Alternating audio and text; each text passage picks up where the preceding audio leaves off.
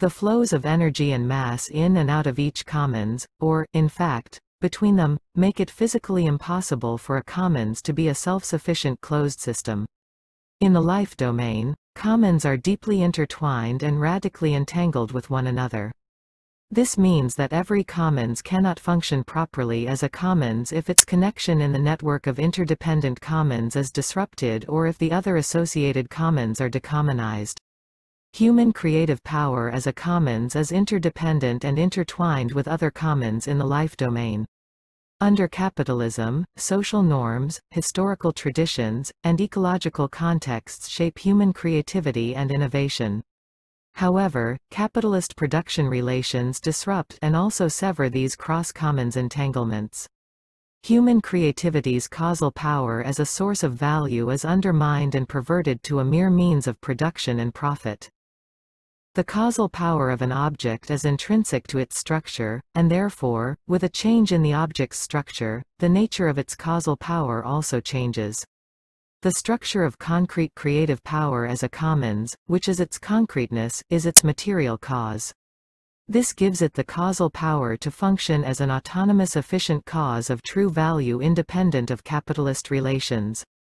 Under capital's rule, labor is reified primarily, leading to a change in its structure, and its causal power as a potential efficient cause of value, in the form of work, transforms into a material cause in the process of commodity production, material or immaterial.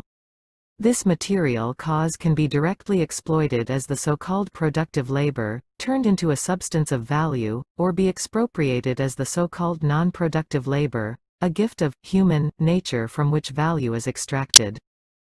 Labor is the product of the decommonization of human creativity and its alienation from its original commoning nature, which continues in the capitalist commodity production process through the secondary abstraction process, theorized by Marx. What defines labor as labor, productive or unproductive from capital's point of view, is the primary abstraction process. The unique ability of labor to produce value added cannot be its only defining feature. Marx explains that even outside capitalist relations, surplus work, is normally needed. For Marx, the imagined post-capitalist association of free and equal producers who own the means of production in common and expend their many different forms of labor power in full self-awareness would still need to conduct surplus labor to maintain and upgrade their means of production and to meet the various needs of the society where the association comes from and the association's own needs as a communal being. See Marx, 1990, pages 171 to 172. Private exchange no longer determines the value, and thus, no fetishization of commodities happens. Hence, in this situation, according to Marx, the social relations of producers will be simple and transparent in all moments. Marx assumes, only for the sake of a parallel with the production of commodities, that the labor time necessary to produce use value would still need to be employed to determine the contribution of each worker and to finally apportion, through social planning, the right magnitudes of appropriate labor functionalities to produce for the satisfaction of various collective needs. The roots of alienation. The loss of commoning origin and nature. In the world of contingencies, every cause has a cause. Labor as a cause of value is also caused. Once again, from the Aristotelian perspective of causality, labor must have four types of causes, all subject to decommonization under capitalism. In other words, labor, to be possessed by capital, has to be dispossessed of its causal structure. For this to happen, capital, through the secondary abstraction process, has to decommonize the four constituting elements of labor. 1. Its material cause, which is its concreteness. 2. Its efficient cause, which is its life activity or what reproduces labor. 3. Its formal cause, or the communal cohesion and solidarity among the value producers. And, 4. Its final cause, which is its function to prefiguratively fulfill needs, create meaningful and gratifying living experiences, and advance collective well-living. These four types of appropriation of the commoning features of labor, respectively, correspond to the four types of alienation of laboring individuals that Marx specifically theorized. Alienation as the estrangement of workers, 1. From their own essential species being. 2. From their life activity. 3. From one another, and 4. From the product of their labor.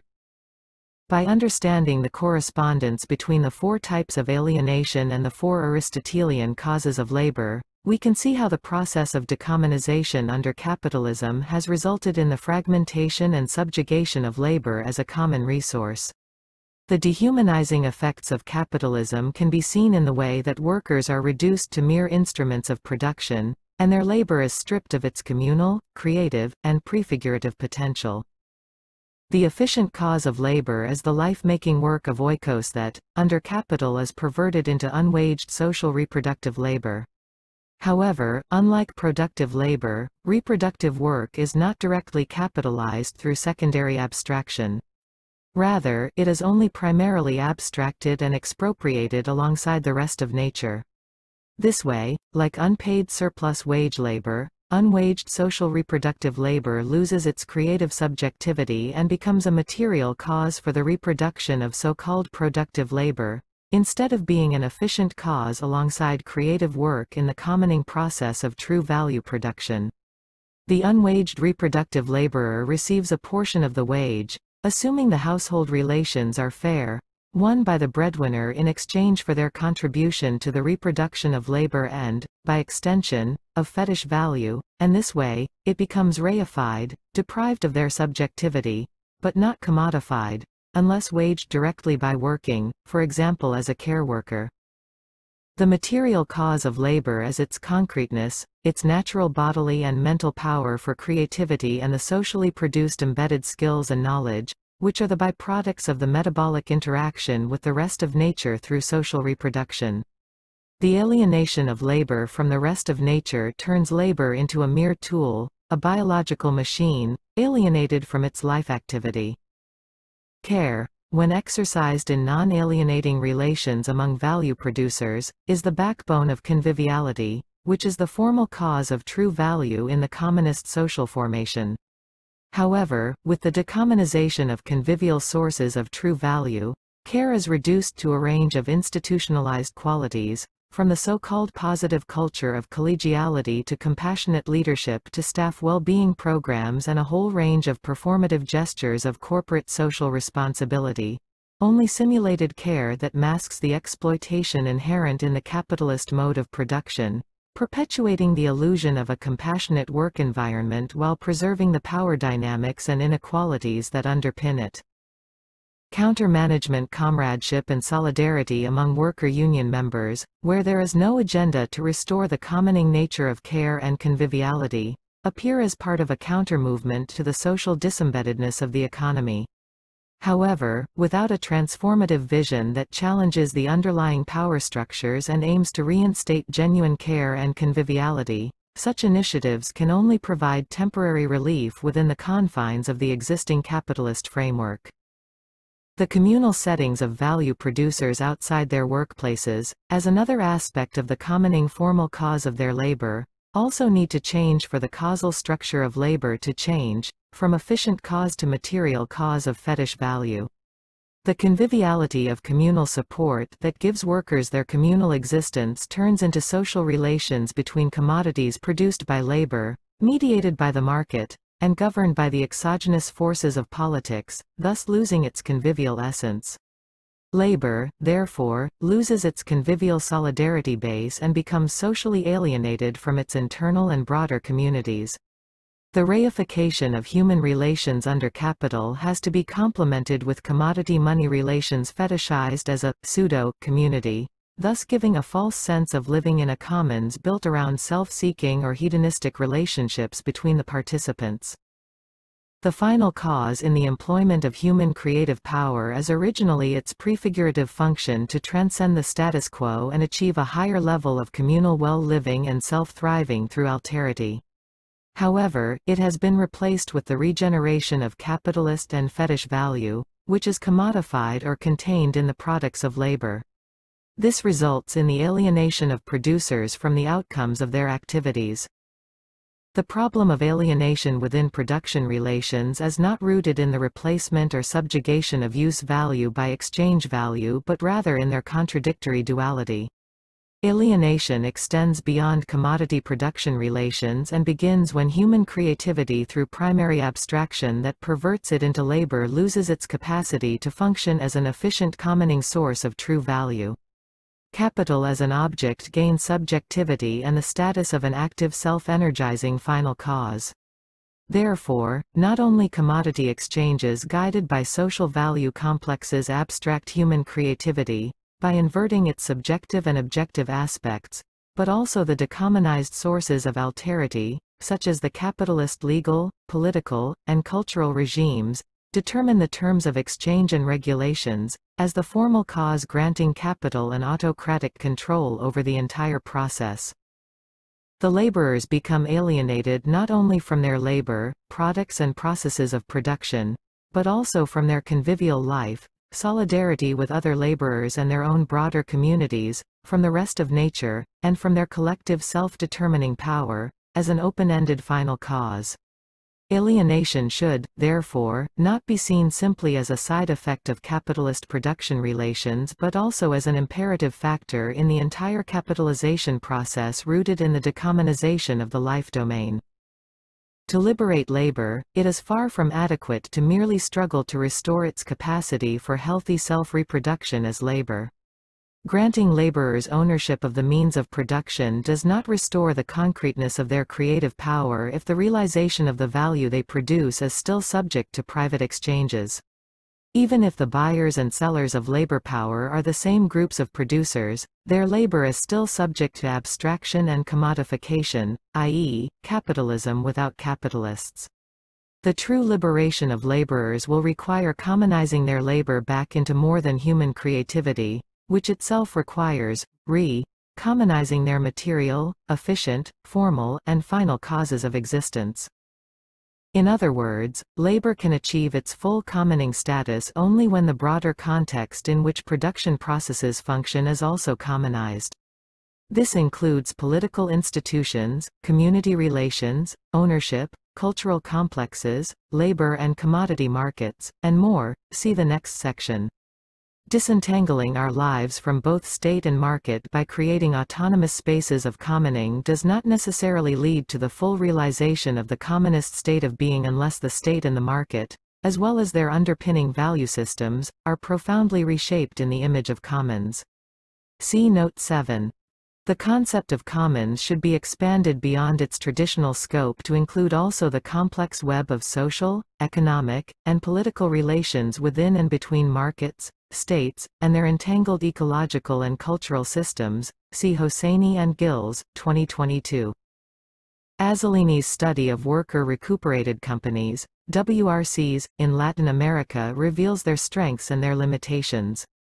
Self-organizing communities are built, New values and norms based on solidarity and conviviality emerge, and the metabolic relationship with the sources of livability may positively change as the purpose of production shifts more toward the reproduction of what is essential for the communal life.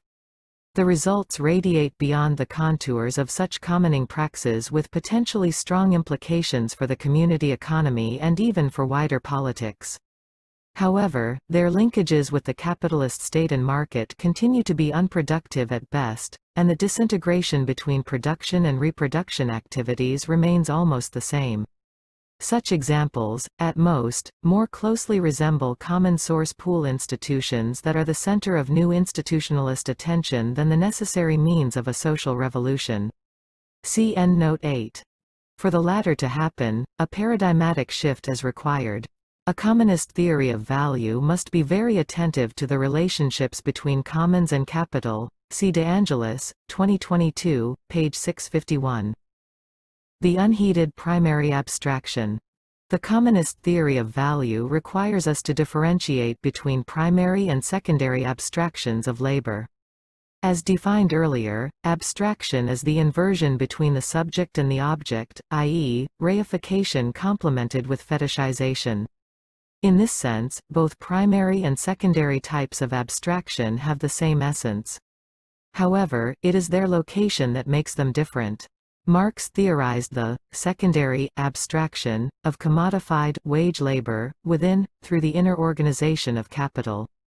Primary abstraction, see figures 4.1 and 5.1, consists of the reification and fetishization of the fundamental commons, in this case, the more than human, commoning sources of creativity. Primary abstraction is independent of capitalist formats, the industrial versus the post-industrial, the Fordist versus the post-Fordist, etc. It is what labor, commodified or not, is born out of. In fact, Primary abstraction has become more prominent in the late capitalism of advanced economies since capital has constantly developed effective ways of extracting fetish value out of uncommodified yet reified work such as care, social, and ecological services. But for concrete labor to be subsumed into abstract labor, which is no longer capable of producing true value, and for commodities to become the bearer of exchange value, which can be converted into prices, specific social relationships must have already emerged and been sustained as preconditions for the constant re-emergence of labor. This specific form of production relations is characterized by the separation of the objective conditions of production, means of production, and the subjective conditions, labor power. This separation results in the bifurcation of labor itself, concrete and abstract, and the bifurcation of value. This separation is both the product and the producer of a decommonized society, in Marx's narrower term, the commodity society, which transcends the inner organization of capital and underpins its persistence. It is a society in which the fundamental sources of creativity, livability, conviviality, and alterity are constantly perverted into abstract labor, objectified nature, alienating hierarchical relations, and self-fossilizing political cultures, respectively. For Marx, abstract labor is the substance, or material cause, of capitalist value.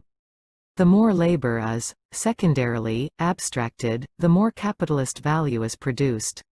Such abstraction, for Marx, is determined by the social average of labor time necessary for production, which is outside the worker's control. Abstraction makes the quantification of labor power, and thus its exchange, possible. However, a deeper investigation of the complexity of Marx's value theory paves the way to addressing its constraints using his own method. According to Marx, the abstraction of labor depends on the exchange of the products of labor, which in one cycle happens after labor is already employed. Exchange is, therefore, a formal cause of abstraction. But how can exchange play such a role as a determinant of value? Exchange, inclusive of the exchanges of labor as a commodity, has a tacit political dimension since it is influenced by power relations, flows of information, and wealth distributions that constantly change. Hence, it constantly requires the actors involved to draw on their prefigurative capacities to speculate on the fluctuations in demands, supplies, costs, and prices, with ever imperfect market information. The secondary abstraction of labor via commodity exchanges is dependent on and deeply intertwined with the perversion of communal interdependences and actors' deliberative power to prefigure their communal futures into market relations and self-centered speculative actions in pursuit of profit. Final causes operate through evolutionary processes, allowing them to influence the inputs of following circuits despite being the outputs of a previous causal process, giving the appearance of a teleological effect. In the case of social causal mechanisms in open systems, primitive bearers of the final cause coexist with and guide the other three fundamental causes from the outset of the process. These primitive bearers can emerge as cognitive affective prefigurative tendencies, such as the desires, imaginations, and ideals of actors, as well as pre-established social institutions, like the so-called free markets and the state, which regulate social relations. As Marx theorized, in a society dominated by industrial capital, capitalist, value, as a representation of socially necessary abstract labor time, imposes its finality and constraints on society as a whole, refer to Aulit, 2015, page 22. Competitive private exchange serves a much deeper function beyond abstracting labor and making commodities, including labor, commensurable. It is a constantly recurring meta-mechanism that reshapes the values, desires, wants, and needs of actors, as well as their social institutional manifestations, in the image of the ultimate form of the final cause, capital. As a result, a secondary inversion of the subject and object occurs. Marx later modified his view by considering exchange value as a mere form of expression of value as the content, and by clarifying that commodity is both a use value and value, rather than use value and exchange value as opposites. It is possible to produce use value and value without producing commodities. To produce a commodity, the use value should be produced for others outside the proximate community of producers, i.e., social use value, rather than for the community of producers, who may also exchange their products across their communities. Marx addresses primary abstraction by discussing the conversion from primitive modes of production to the capitalist mode of production through which the communal character of general labor is lost to the fetishized exchange of commodities. For Marx, in primitive production, the social character of the use value of common products lies in their communal character, rather than in their communal exchanges. For products to enter the world of commodities, they need to be produced under an economic formation through which the value of products assumes a form of expression distinct, independent from its natural form contained in the commodity. Thus, the unity of value and use value becomes a duality that translates itself into the dual character of labor, i.e., the useful, concrete form that produces use value and the abstract form as the expenditure of labor power. Marx distinguishes between labor and labor power. In contrast to a slave society where masters own and control both the worker's body and capacity to work, i.e., the substantial and the efficient constituents of labor, in capitalism, it is only the capacity to work, i.e., labor power, that is being bought and sold as a commodity. The workers' bodies and the substance of their labor, and thus their subjectivity, remain free from full submission and objectification, unlike in slavery or serfdom. See Hudis, 2019. The abstraction and commodification of labor is only a change in the form of labor power rather than in its content substance. The bifurcation between labor and labor power constitutes a potential for resistance. Under capital, and unlike abstract labor which functions as a material cause, concrete labor remains the mover and the efficient cause of value production, even if its role is systematically denied by capital through the laws of private exchange. The essence of labor, human creativity, remains a potential common subject to constant decommonization, but also a potential source for the emergence of progressive alternatives to capital. However, the actualization of this potentiality is contingent upon a negation at a deeper level, which is the negation of the infra-processes through which labor is constructed out of the decommonization of human creativity. The abolition of productive capitalist value, by negating the exchange value, which is only an alienated expression of value, requires the abolition of the, secondarily, abstracted labor that is the substance of capitalist value. However, it would be a mistake to assume that the emancipation of labor and thus the working class ends here. Using the commonist value theory, we must extend this logic by acknowledging that the abolition of abstract labor is impractical as long as we still have an infra-process in place through which labor is primarily abstracted out of commoning sources of creativity. Labor, insofar as it functions as a material bearer of exchange value, cannot be organized as a commoning praxis. See Azzellini, 2016, page 766. Therefore, the full and meaningful liberation of laborers happens when the primary abstraction of labor is abolished, and labor as productive work is returned to its commoning status as part of a wider, more than human capacity for creativity. The secondary abstraction of labor within the inner organization of capital through the competitive private exchange, as theorized by Marx, is not possible without decommonizing the communal bonds between more than human producers of true value and the conversion into alienating commodity exchanges. The secondary abstraction is, in fact, the alteration of the formal aspect of the causal structure of labor, via the replacement of communal relations with private exchange, and thus is the further extension of primary abstraction into the inner organization of commodity production. Private exchange, is the perverted or decommonized version of convivial relations that functions as a formal cause by giving structure to the realization of the fetish value through the secondary abstraction of labor. As Marx explains, exchange is a form of the socialization of labor. However, not every socialization of labor is part of its abstraction. For instance, labor was socialized but not abstracted in feudal society where the means of production were commonly shared. Secondary abstraction of labor becomes possible when this socialization happens through the means of private exchanges of the products of wage labor. Capital abstracts labor by perverting it from a potentially efficient and active cause of use value into a material cause. The purpose is to turn labor into the bearer of its final cause, capitalist fetish value. This is possible through a mixture of privatized exchange structures and state intrusions that function as the formal cause of capitalist value.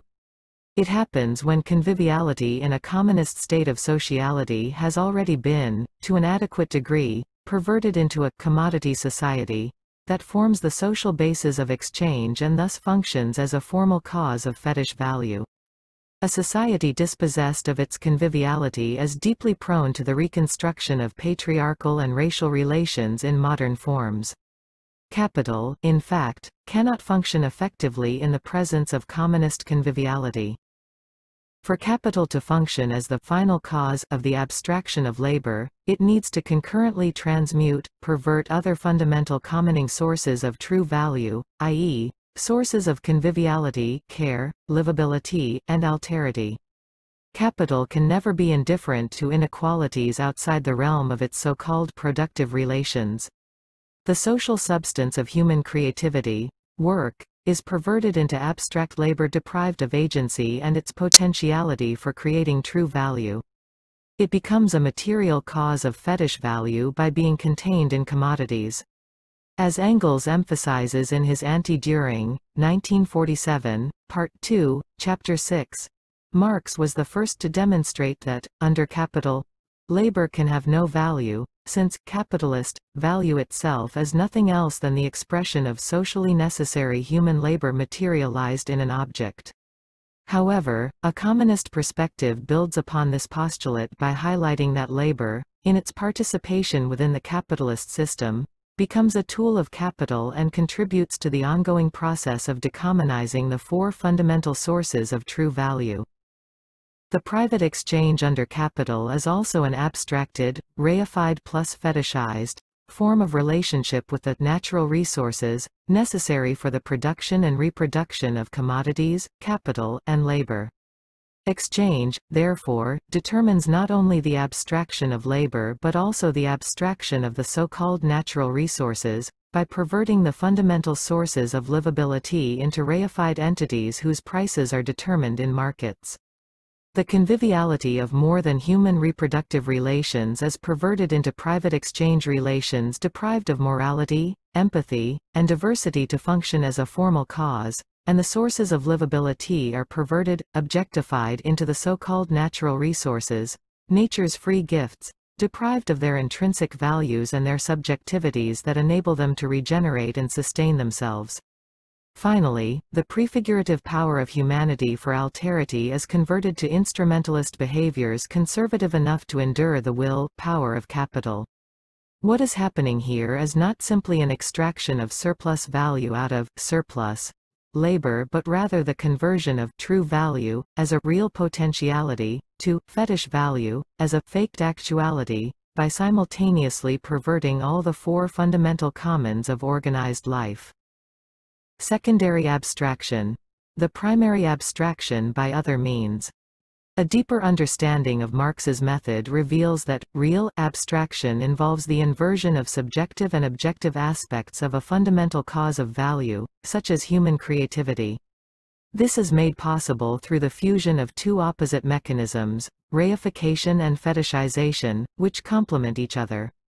Reification involves the conversion of a social subject or subjective aspect of a socio-ecological entity, such as private labor according to Marx and Capital, into an object, such as variable commodity capital.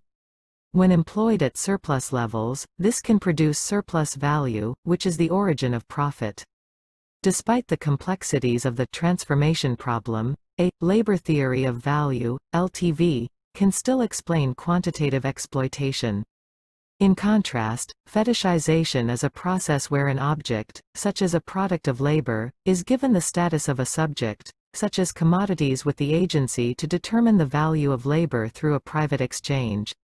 Here, Marx's theory offers a value theory of labor VTL, which was lacking in the works of his predecessors, see Elson, 1979. The two processes of reification and fetishization complement each other to bifurcate work into abstract and concrete labor. The subjectivity derived from concrete labor is assigned to its products, including the profit that is reinvested in production to reproduce capital, by giving them a determining power over X subjects, concrete labor, through exchange relations, realization of value in the commodity market and the reemployment of labor as a commodity in the labor market. Real abstraction is thus an inversion of the subjective and objective aspects of a common resource, which results in its perversion from a source of true value to a source of fetish value. This construction of the Marxian idea of real abstraction provides a broader analytical framework that is equally applicable to all other types of causal sources of true value. Under a capitalist social formation, capital seizes the subjectivity and evaluative power of more than human agents of creativity, reducing their efficient causality in value production to a mere material cause devoid of communal prefigurative power. See Endnote 9. More consciously and conscientiously than other species, humans have the capacity to use their evaluative subjective power to envision a future and prefiguratively translate their perceptions of good life, as the final cause, into their practices of true value creation. Under capital, however, their evaluative power and thus their efficient causal functions are reduced to their roles as self-centered atomized beings who have internalized the well-being of capital as their own. This feature of capital creates a hyper-reality in contradiction with the reality of life since what underpins life as a commons is fundamentally different from the living conditions forged by capital. See Endnote 10. The focus of the commonist value theory is not merely the transformation of value into price or any other value form of labor products or the correspondence between them. See Endnote 11. Instead, it should be the perversion of the commoning sources of creativity into mere instruments for capitalist fetish value production. This perversion turns human creativity into a reified object, i.e., labor, with its dual functionality, concrete and abstract, emerging from commodity production and private exchange and being appropriated by capital in the money form of value. The perversion of human creativity is indeed a transmutation, transition in essence, rather than a transformation, transition in form, quiddity, appearance, expression. What matters most is not the transformation of one value form to another but the substantial rift between the types of value that essentialize human creativity free from capital, as opposed to its perverted version, i.e., labor under capital. After the perversion, capital can extract what it claims to be of value, by fetishizing it as, 1, an allegedly naturally occurring utility worth exchanging at a certain market price, which is another perverted commons, i.e., the otherwise convivial communal interactions reconstructed in the form of private exchanges, supposedly promoting the well-being of consumer society, whose needs, values, desires, and wants are altered to play roles in realizing capital's final cause. 2. A legitimate necessity for the social conditions of the possibility of labor, by virtue of the use value embodied in the means of subsistence.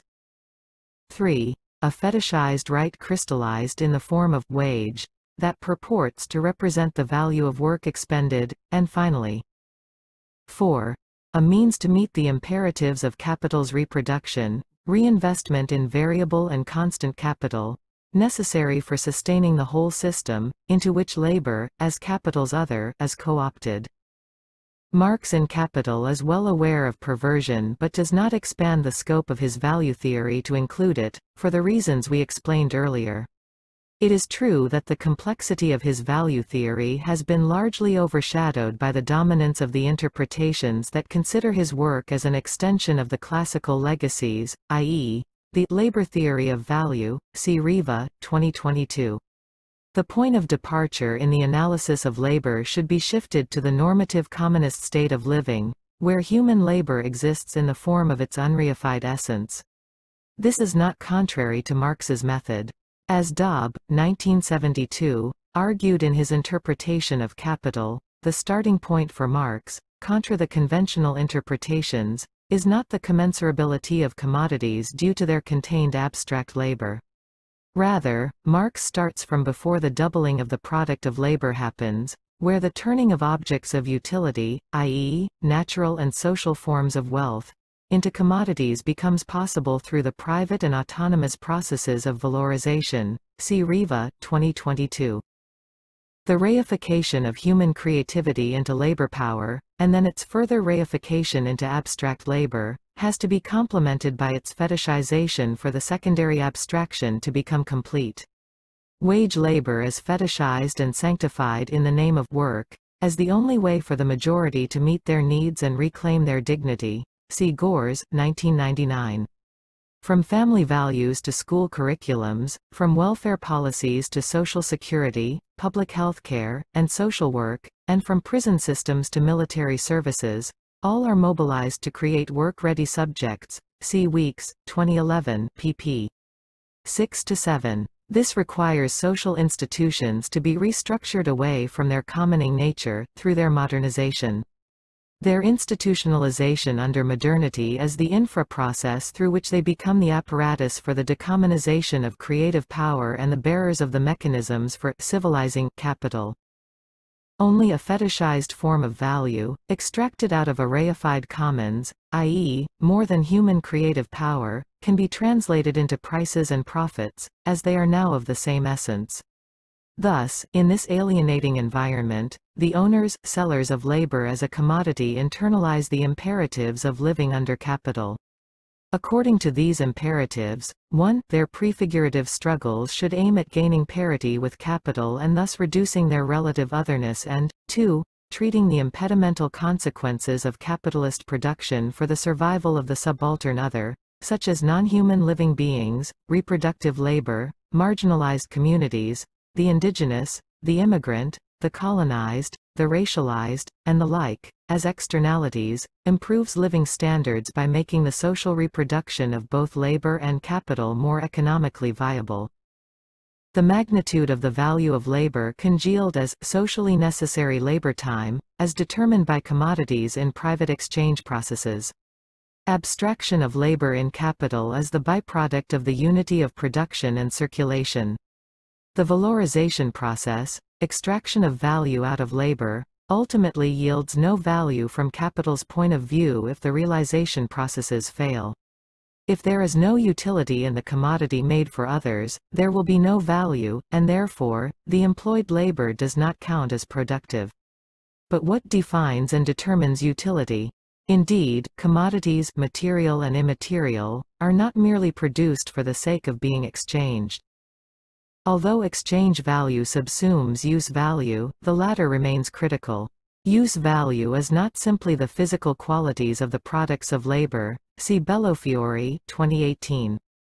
It is more importantly shaped by the consumerist society's socio-ideologically manufactured perceptions of utility, influenced by social preferences. These are themselves the societal manifestations of culturally constructed wants, desires, values, and needs of the populace. The so-called superstructure, here the societal interactions that construct preferences, plays a decisive role in the production of value in the base. The superstructure, as part of the formal cause, becomes an inducer of fetish value, the final cause, in the abstraction of proletarianized labor.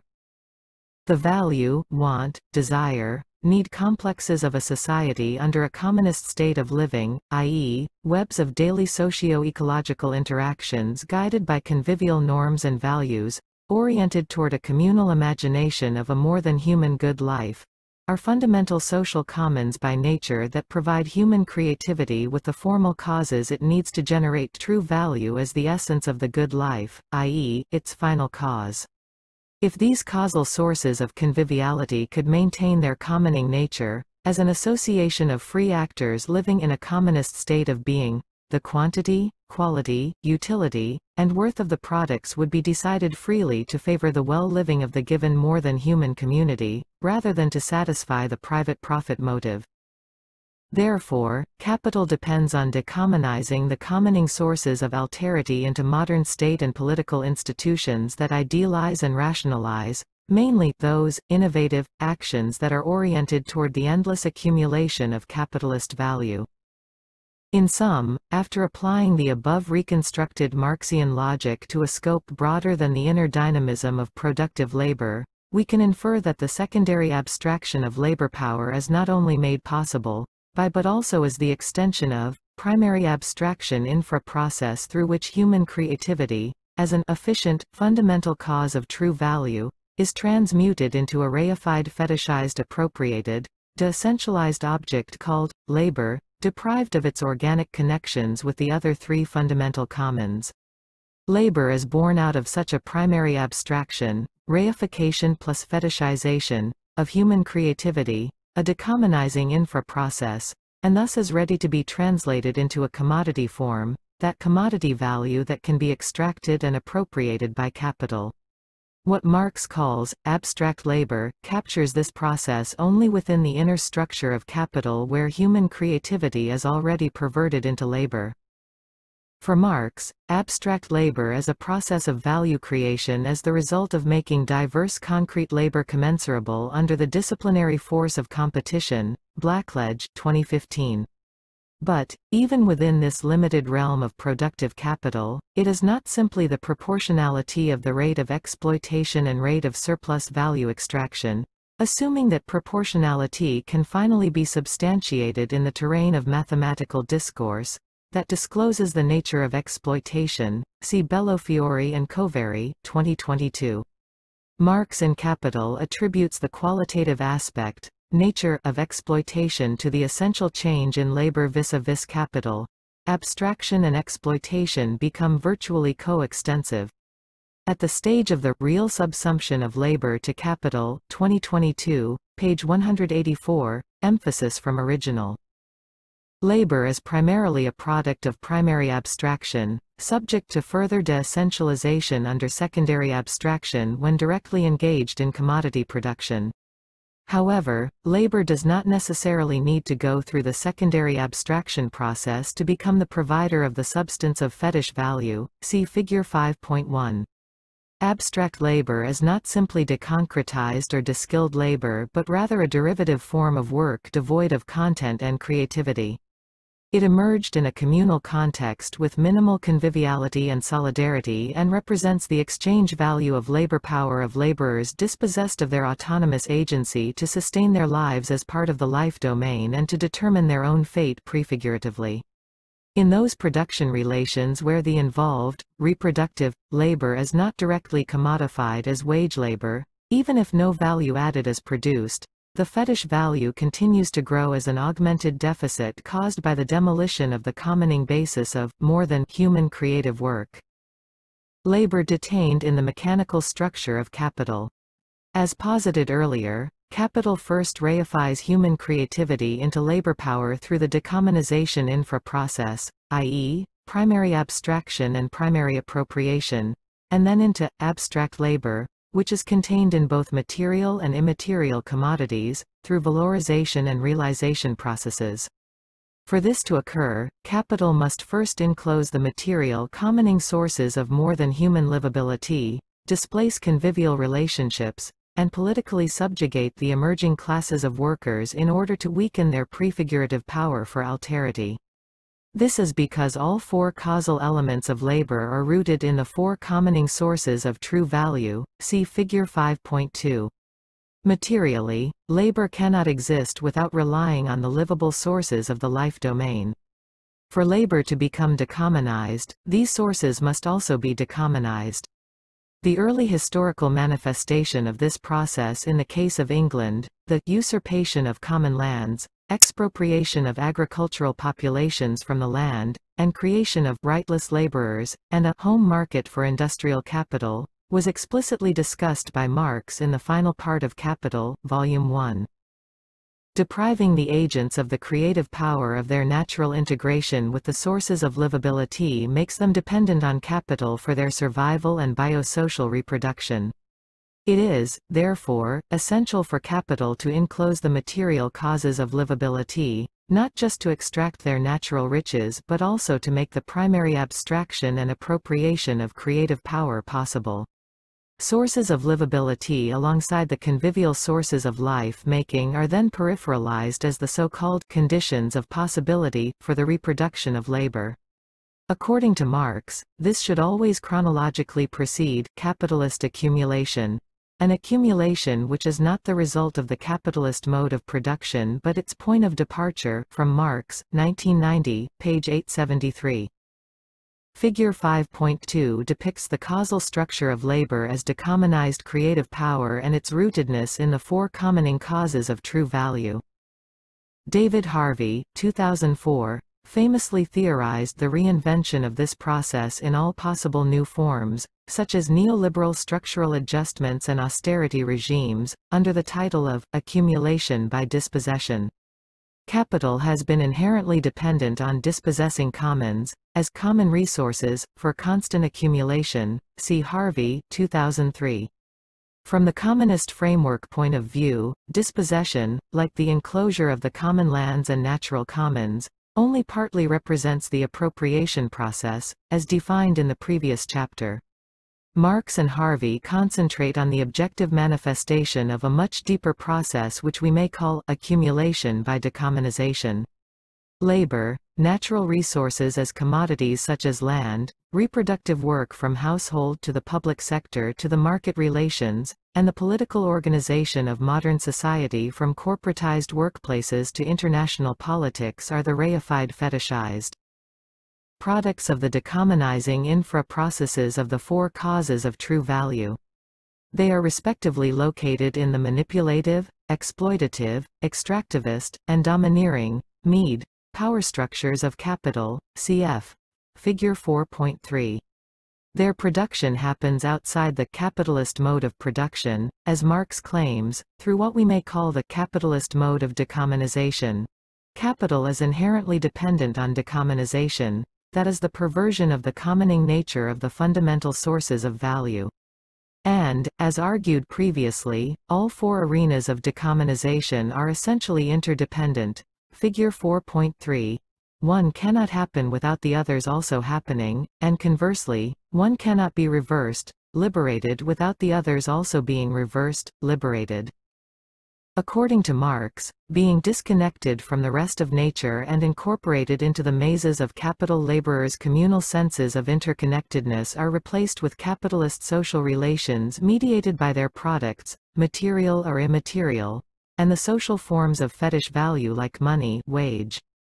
The incorporation of oikos into capitalist relations reifies it into what is known as the economy.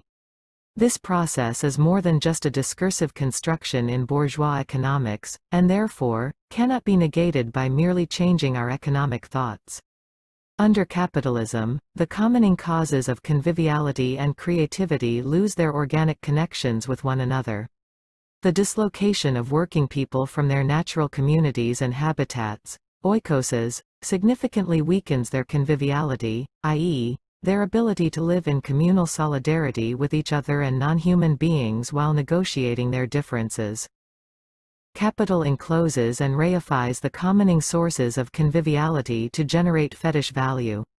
The process is incomplete without the abstraction and appropriation of the commoning sources of alterity, i.e., the potentialities for prefigurative imagination and autonomous future-oriented decision-making, morally conscientious of the needs and rights of the transcendental and immanent other, i.e., all living and even non-living beings, inclusive of future generations. The so-called productive laborers give up their willpower and real autonomy and hand over their imaginative power to capital, which politically disincentivizes them. Dreams of individual accomplishment and desires to contribute to the common good become firmly attached to waged work, where they can be hijacked to rather different ends.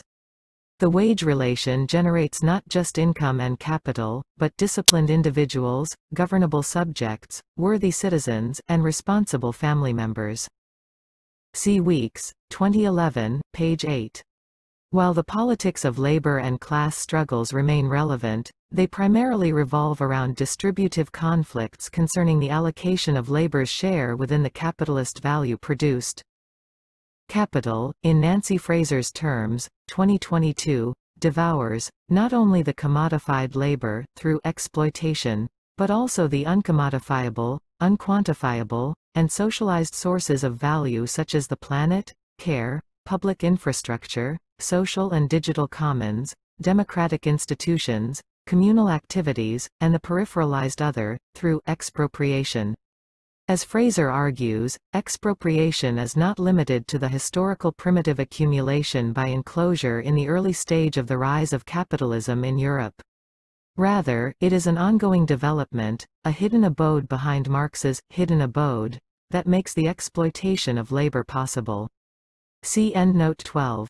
The double hidden abode functions as the background conditions of possibility for capital's inner organization. See Fraser, 2014, page 57. The contemporary global expansion of resource frontiers and sacrifice zones in both global north and south exemplify this. New literature analyzing forms of global extractivism as rapidly emerging to address this global process, entailing an ecocide-genocide nexus, see Chagnon et al., 2022. The four elements of the so-called productive capital's inner exploitative structure, according to Marx and listed by Fraser, 2022, consist of so-called free labor, an efficient cause only in its concrete form, private ownership of the means of production, as the material cause, market, as the formal cause, and capital's inherent imperative for self-expansion, as the final cause. However, the entire exploitative structure of capital should be seen as an infra-process through which, more than, human creative power is reduced only to a bearer of capital's final cause behind the production of fetish value, alongside the decommonization of the other three fundamental spheres of organized life, as described in the previous chapters. This perspective helps us explore a much more delicate and deeper working of capitality. One can concur with Fraser that, expropriation, confiscating others' assets, human and non-human, is an essential enabling condition for exploitation, in the form of surplus labor, by underlying it and making it more profitable. Marx was acutely aware of this relationship and did not overlook its significance. It is also critical to emphasize that the exploitation of labor and the entire political economic system that relies on it also creates the conditions of the possibility for the expropriation of the more than human subalterns, resulting in a two-way relationship. At the core of this dialectical interplay between exploitation and expropriation lies the process of decommonization. Marxist feminists and social reproduction theorists have long been making efforts to highlight the fact that issues like domestic violence and the double exploitation of life-making workers, waged and unwaged, are made possible in more sophisticated ways than ever in the context of the commodification and exploitation of laborers, many of whom are females, see Mies, 1986. Austerity regimes in the Global North and structural adjustment programs in the Global South have contributed to the underfunding of social reproductive services, including the protection of victims of domestic and racial violence, the privatization of public assets, and the corporatization of the public sector. These have resulted in less affordable living expenses, higher household debts, which feed back into capital, the semi-proletarianization of households, and the disappearance of the subsistence economy, causing mass dislocation of local natives, small self-sustaining, organic, and regenerative food production system, and more. See Bhattacharya, 2017. All this has become possible in the context where the perversion of the commoning sources of creativity fuels the relentless expansion of capital. Capital incorporates alienated labor, alienated from the moral fabric of living in commons, into its expropriation projects. Laborers, especially in the global core and the core islands of the global periphery, are beneficiaries of such mass looting, as social reproduction becomes more affordable for them, despite their stagnated wages and unstoppable household debt burden, thanks to the expropriation processes. The closer they are to the cores of the global North and South, the more they benefit. A significant portion of their wages is reinvested in the consumerist economy and finance capital markets, perpetuating and sustaining the processes of expropriation.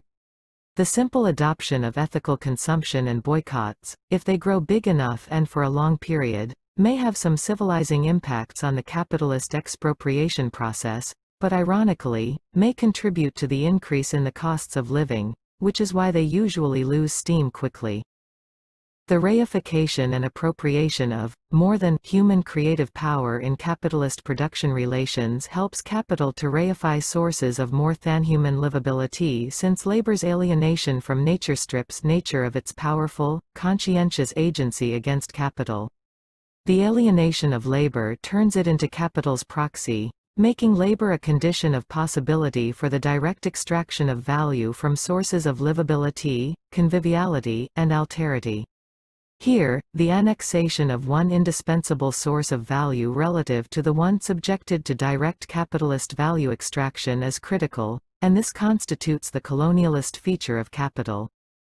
However, late capitalism has found systematic ways to become less dependent on commodified labor through new modes of fetish value production, by relatively or fully externalizing productive labor into the artificially manufactured realms of the so-called nature, politics, and community. These peripheral or semi-peripheral realms supply the so-called free gifts necessary for the sustenance of capital. Capital has always had an innate tendency to prefer an uncommodified yet reified form of labor that can be brought under colonialist control over fully commodified labor since it does not have to pay for it. We may call this the self-purification of capital through which alienated labor, like alienated nature, to the extent possible, is thrown out of the inner organization of capital.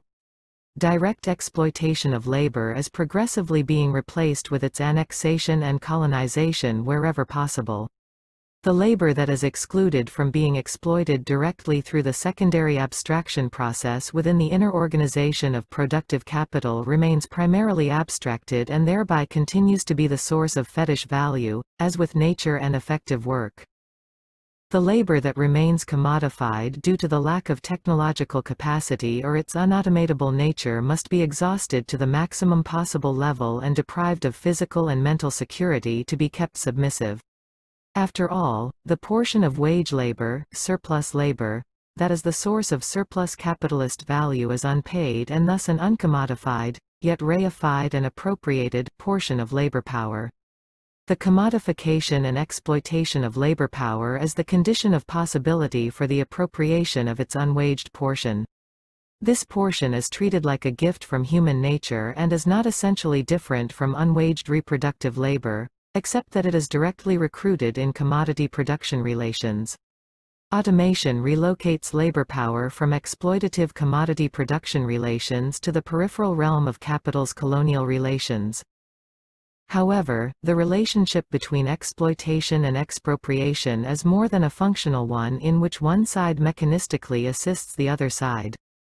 The existential engagement of exploitation and expropriation is rooted in a deeper commensuration infra-process.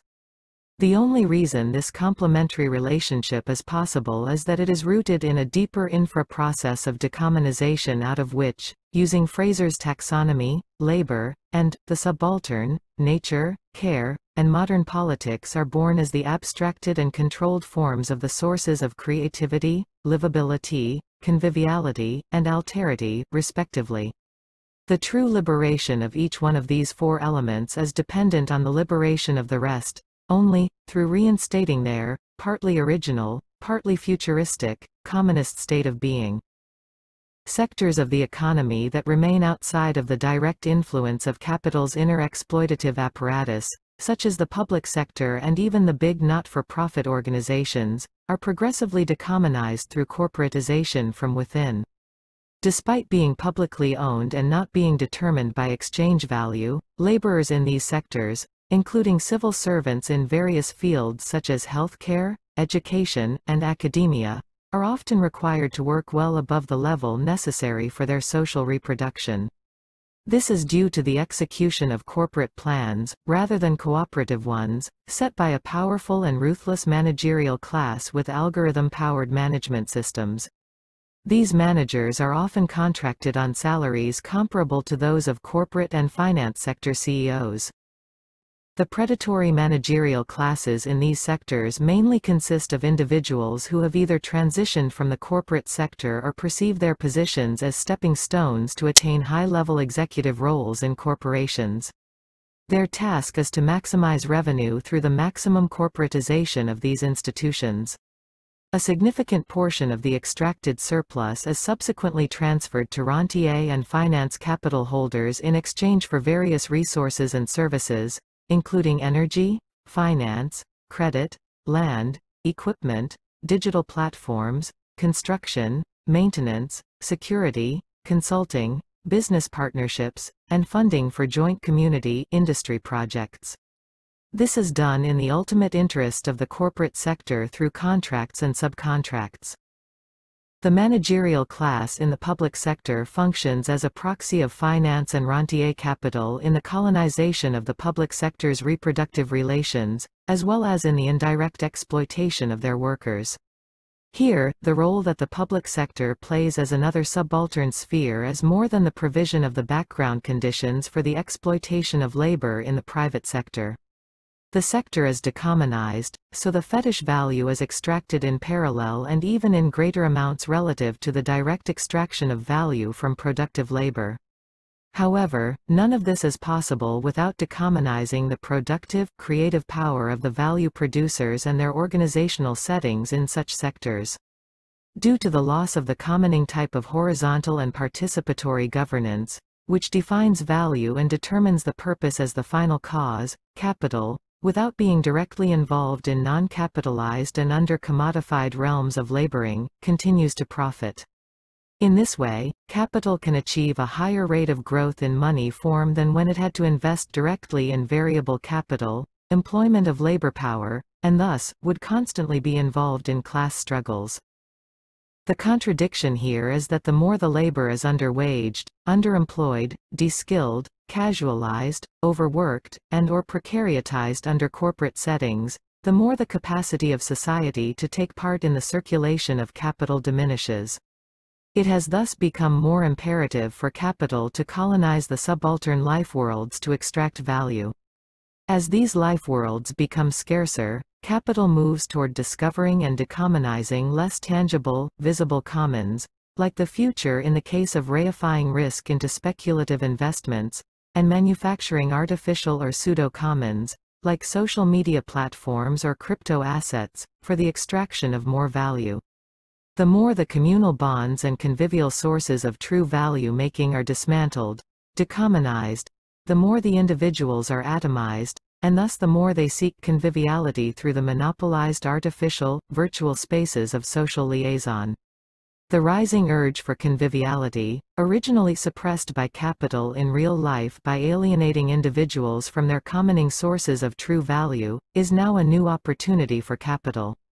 The urge is an emergent demand to be met with the supply of virtual spaces for the creation of artificial commons by online prosumers who contribute to the life of commons through their communicative actions. The high-tech private digital platforms function like feudal serfdoms, in which the digital serfs become increasingly involved in the production of commodity information in exchange for being allowed to socialize on these virtual lands and to satisfy their needs for convivial relationships and communication. A better analogy can be drawn with colonization. The data produced through these relationships are seen as sources of raw materials by high-tech capital. Individuals are dispossessed of the data they generate, see Thatcher et al., 2016. The product is produced through pseudo-commoning relationships. The private exchange of products derived from digital serfdoms does not determine or abstract the labor of the digital serfs. However, this does not imply that capitalism off serfdom or feudalism, as the dominance of capital continues to perpetuate feudalistic relationships alongside patriarchal and racial ones. Throughout history, capitalism has exhibited feudalistic characteristics, which have become more prevalent in a par and to residents of the global north following a brief period of working-class embourgeoisement. More particularly in the so-called developed world, substantial sections of population have become increasingly dependent on virtual space property under the ownership and control of high-tech capital to run their businesses and organize their financial life. They form a new class of workers who, instead of selling their labor power, sell the products of their labor. The boundaries between the value makers and value takers become more and more obscure, and doubly free labor is less and less applicable to the workers. A large portion of their revenue is taken by the rentier and finance capital associated with platform capitalism. Class solidarity and class consciousness can hardly be found among this group of workers. Instead, by absorbing and being absorbed into capital as a mode of being, capitality, they are potentially the most suitable prey for the power-hungry right-wing populist elite. See Hosseini et al. 2022. Endnotes on Chapter 5. 1. This chapter reproduces the preprint paper titled Labor Redefined by Hosseini, 2022b. 2. The use of work here should not be confused with waged work, used in the post-work or anti-work literature, with negative connotation, Weeks, 2011. 3. As noted by De Angelis, 2022. 4. The idea has already been praised by The Economist, embraced by the World Bank in producing its research outputs and incorporated into the real estate discourse. See Federici, 2019, page 85. 5. Unfortunately, the voices with an upper hand in the commons movements, especially in the global north, seem to favor such a direction. 6. Marx, influenced by Darwin, viewed living beings' organs as their technological tools and introduced the concept of tools as organs in reference to human beings. He believed that these tools were as essential to human metabolism as their organs, but only when they were under the direct control and stewardship of free human consciousness.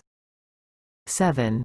In a society where the value practices of capital determine the final cause of value production and are supported by the social norms that fetishize economic growth, the value practices of remaining or regained commons lose their capacities as the antithetical to capital. 8.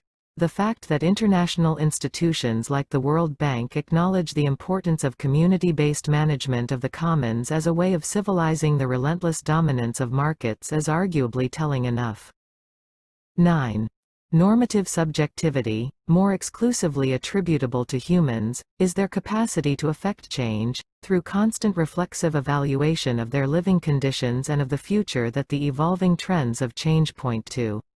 However, human beings cannot be seen as the only efficient cause of value since subjectivity, that is the capacity for affecting change, is attributable to other non-human living beings. The life domain is a mesh of interacting subjectivities. 10.